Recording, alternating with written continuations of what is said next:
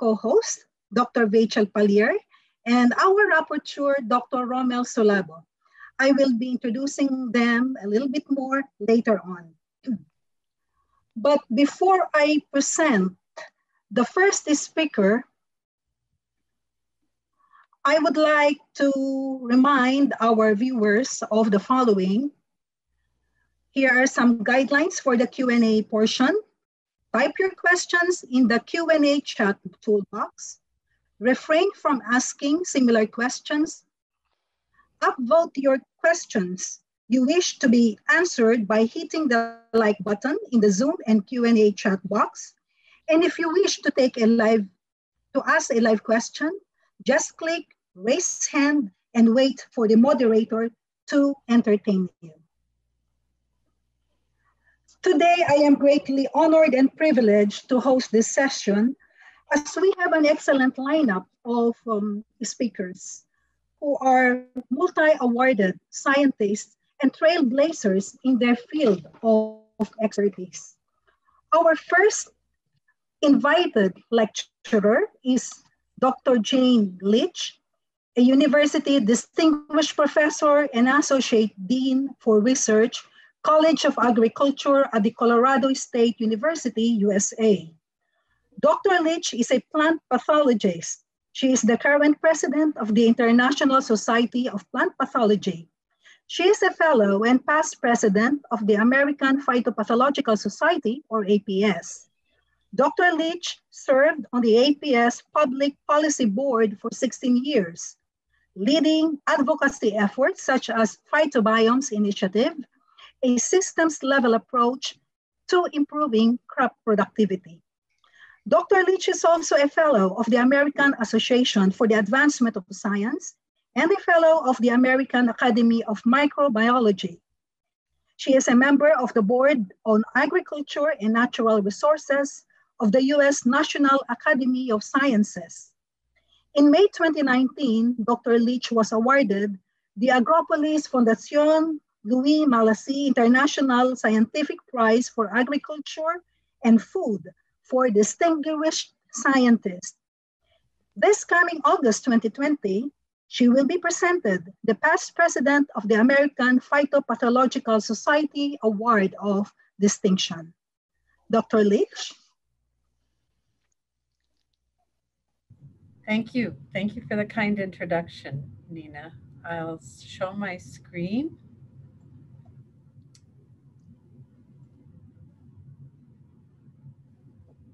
Are we good?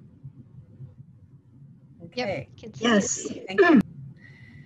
So thanks for the invitation to speak in this exciting session. And I'm, in, and I'm, and I'm very honored to participate in the session with a number of distinguished scientists today. Today, I'd like to talk to you and discuss one of the great challenges for agriculture and agricultural researchers, and that is the impacts of the changing climate on plant disease and how that affects crops in, in crop production. Um, sorry, I'm having some difficulties here. Major storms have always devastated farms worldwide, whether from damaging winds during a storm or erosion or landslides. But now, as many of you know, they're becoming more and more common. In the spring of 2018, for example, unusually heavy rains and snowstorms caused massive flooding in the US Midwest. The flooding inundated thousands of farm acres, and farmers couldn't get into their fields to plant their crops. Thousands of livestock animals were killed. Impact, and it, it not only impacted um, the farming systems, but those who depended on the farming system. These floods in the Midwest caused the losses of Midwestern farmers over $400 million in cattle and $440 million in crop species in one season alone. On the opposite extreme, drought is looming in many areas of the world, and the lack of adequate water damages or destroys crops, dries up soils, and threatens our livelihoods. Between 2014 and 2016, for example, in the state of California, an estimated $3.8 billion of direct statewide economic losses occurred due to drought. Drought and other climate change related conditions are exacerbating degradation of soils. It is truly frightening to me, and I, I'm sure to you, that 1.5 billion people already depend on degraded soils for survival, and it's only going to get worse. Growing seasons are starting earlier and getting hotter in the warming climates. And to us, we might think that a, a an earlier growing season might be a good thing uh, in the short term, but uh, but they but in the long term, the problems are that you may have increases in pest populations and more generations per year. Or early spring onset can result in uh, crops growing before they have the nu nutrients or the soil moisture that will help them to grow. Or it can ruin fruit crops if the spring um, uh, has late frosts. Increasing temperatures are fueling wildfires that are devastating farms around the world. This is an example in the US where ranchers in the West are experiencing major losses as a result of worsening fire seasons. These can not only come from charred grazing lands, but loss of life and decimated hay stocks. The picture for agriculture's future is pretty bleak the International Panel on Climate Change warned us in 2007 already that warming in the climate system is unequivocal. And in 2018, they reported that warming is happening faster and earlier than they had previously predicted. The predictions are that yields for key crops, the crops that feed the world, such as wheat, rice, maize, and soybean, will be negatively affected by only 1% or by only one degree temperature increases. And we're already observing those one degree increases around the world. For rice, the negative impacts of increasing temperatures in the environment are not just predictions, they have been documented. We're seeing increased nighttime temperatures that are not only reducing yields, but as those yields decline, we're seeing increases in release of greenhouse gases into the atmosphere from the rice paddies. There are a lot of models um, that are out there being designed to predict what might happen and what we should do to manage it in these changing climate conditions as the temperatures incline. But until recently, there were lots of models and hypotheses, but the empirical data that tells us what we might need to do, helps guide our responses, is only just becoming available. Why is this?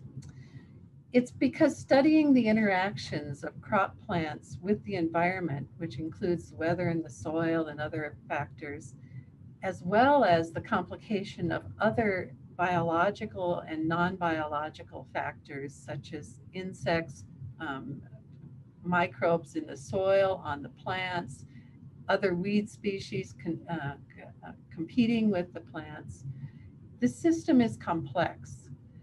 And we call this system, which is the interactions of the environment with the living organisms that influence or influenced by plants, the phytobiome. And to study this phytobiome, we can't just focus on one element at a time. We need to use a systems approach.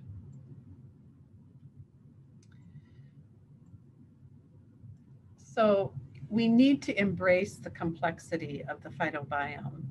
Because of the difficulty of studying these complex systems, plant pathologists or entomologists typically study the interaction of one organism, like a fungus and the plant, or a bacteria or an insect in a plant, and one crop, rice, wheat, whatever. They rarely uh, include the impact of the weather, on the system or the type of the soil and how that impacts that interaction or the moisture in the soil. We need to think about this thing as a system if we're going to solve the problems that are facing us in the future. In the past 10 years, um, we've seen a number of advances that will help us solve these complicated problems. We've seen advances in systems level approaches uh, that will enable us to uh, characterize the environment and the uh, uh biological and abiological, abiotic or, uh, components of that environment. We've seen the ability to handle large amounts of data that will enable us to combine the impacts of soil, the impacts of pathogens, the impacts of the weather on our systems. And in uh, microbiome discoveries, not only in the human, but the plant and ecological systems have shown us that there are patterns that we can look at and tease out if we look at enough data associated with those. We know that we need to do large longitudinal studies rather than just cross-sectional studies.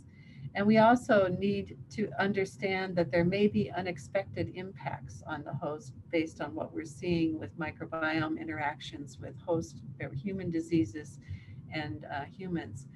And also, importantly, we're seeing that we can translate these, um, these this information that we're gaining to treatments. For example, you hear probiotics or fecal transplants in human systems.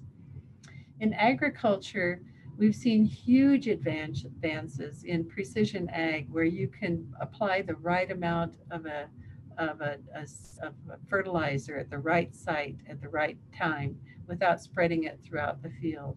And also decision support systems that help us predict what the impacts of, of these system, these uh, uh, environmental factors will be. It's important for us to understand that when we're looking at a phytobiome, the predicted effects of an increased temperature on the plant or the uh, can be not only on the plant or but they can also be on the pathogen. And there are a number of things that we can measure to determine what those factors are, but we need to take all of this into account. Um, we in in my laboratory we're interested in understanding what's happening at the disease system in an increasing temperature. And from a plant disease perspective there's a simple reason why we need to study this as a system or at least combinations of stresses on plants. It's because the outcome may not be what we predicted for example, we may incorporate heat tolerance into a crop, or we may incorporate disease resistance into a crop. But a plant in a field is exposed to multiple stresses and it can be exposed to heat and pathogen stress at the same time. And the unfortunate thing is that the outcome may not be what we predicted. For example, we may have spent years incorporating disease resistance into crop species, only to have that resistance fail if the environment changes. Today, I'd like to talk to you about my favorite plant and host system, which is um, rice and the bacterial blight pathogen, uh, which is the, the disease, a devastating disease that's found in rice production areas throughout uh, Asia. And I'll use this as an example to, uh, of how looking at the system might help us understand better how to control this disease.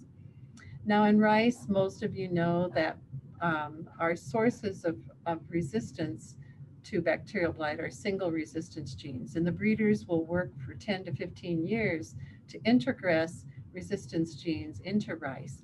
I don't have to um, I, I don't ha uh, have to assume that you're plant pathologist to know that the left side of the screen is healthy rice and the left, I'm sorry, the right side of the screen is diseased rice, and the left side of the screen is healthy because there are single genes that have been introduced into that plant.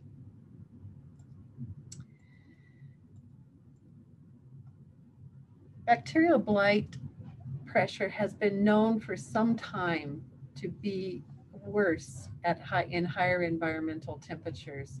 Um, it's been known since for in Japan, there were many studies that uh, that demonstrated that the disease increases under increasing environmental, under high temperatures in the environment. And this is exacerbated if the season is humid. The disease just goes rampant. And we can also replicate that in greenhouse and screenhouse conditions, which makes it a very nice system to study. I'll point out that when I talk about high temperature regimes, they're not that high. These are the average temperatures in the hot season in the Philippines, the day night temperatures. And the blue are the cool temperatures, light, which I'm calling low temperatures, are 29 day and 21 night, which are more uh, the typical season, the cool season temperatures. But we know that there's increased disease at high temperatures, but what it we don't really know, and we didn't really know how high temperatures would affect resistance to bacterial blight.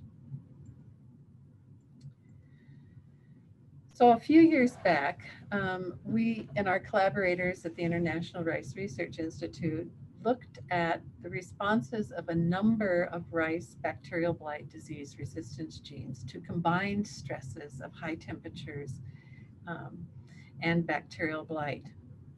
Most of the resistance genes lost efficacy at high temperatures. So the red is the high temperature, the blue is the low temperature. And so, for example, the XA4 gene, which is a widely deployed gene in Asia, resistance gene for bacterial blight that's deployed throughout Asia almost lost efficacy at high temperatures. Whereas um, the interesting thing is that, and, and most other resistance genes that we looked at also lost efficacy.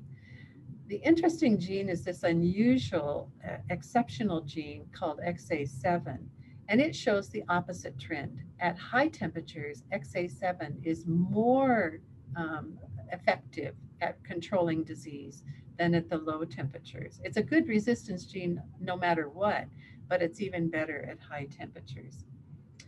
So why do we care about that? We care about that because if XA7 confers higher levels, it may be a very useful resistance gene for us to incorporate into germplasm in areas of high temperature.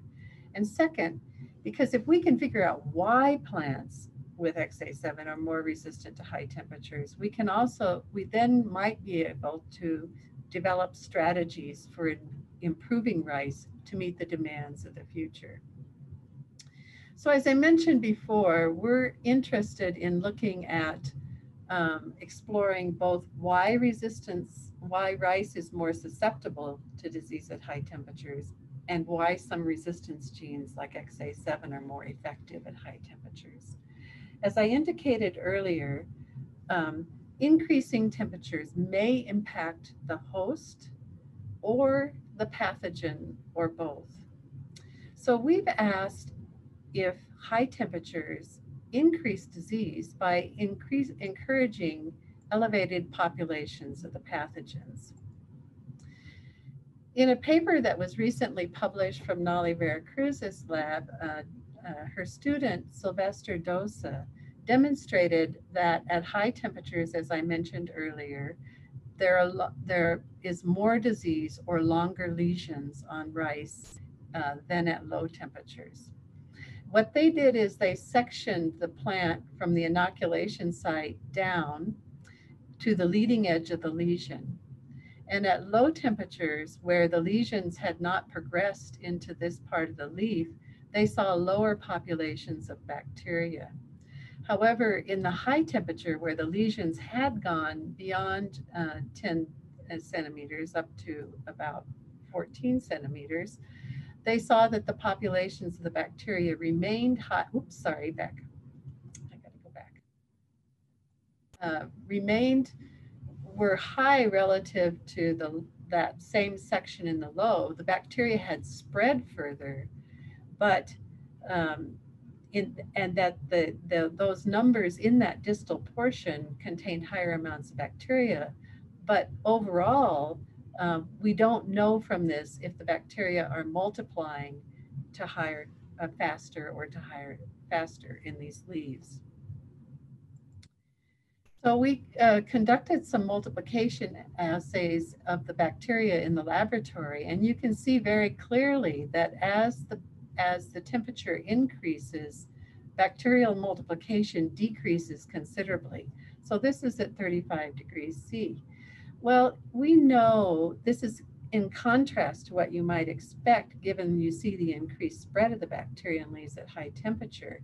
So um, it's possible that the plant, uh, the temperature at the plant surface is lower than um, the environmental temperature. And of course, uh, Nollie's group at IRRI has shown that this is true, that the bacterial temperature or the plant temperature on the surface of the leaves is about two to three degrees less than the environmental temperature.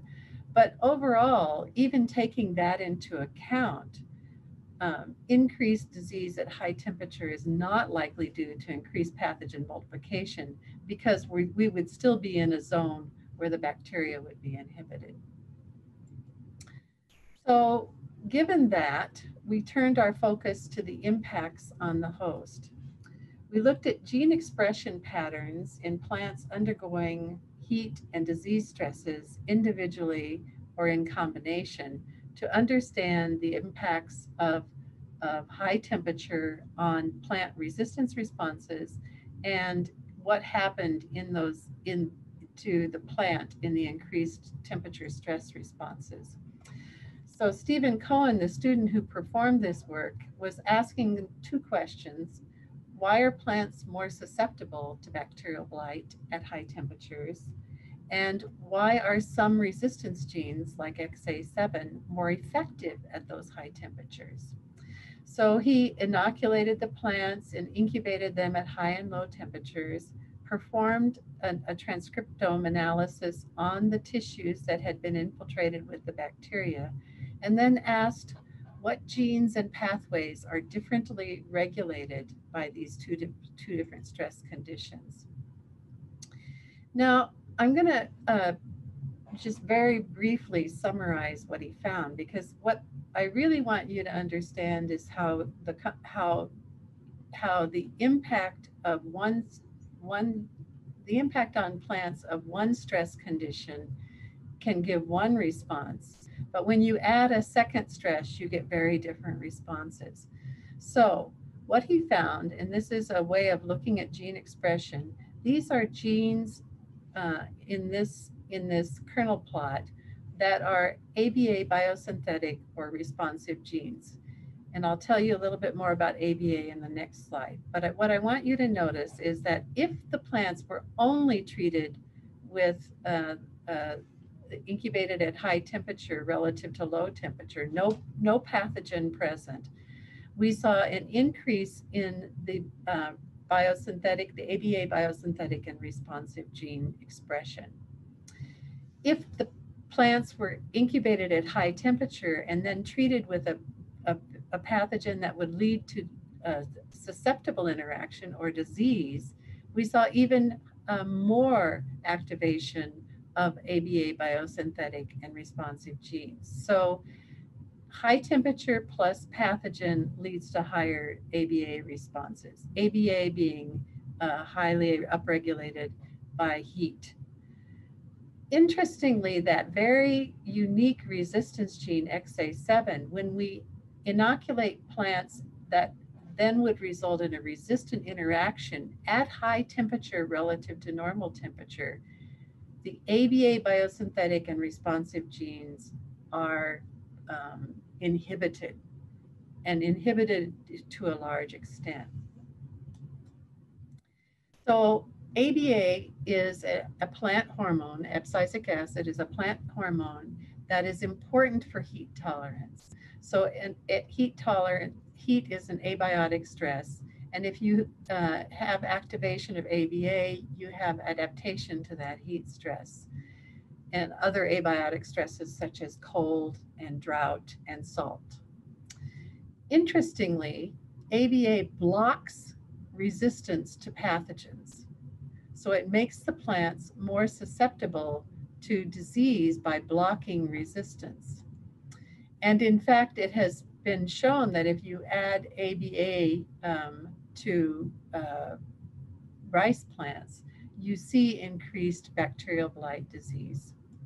So overall, what we're showing is that our hypothesis resulting from these studies is that during high temperature stress or heat and pathogen attack disease, rice favors the abiotic, uh, abiotic stress response pathway.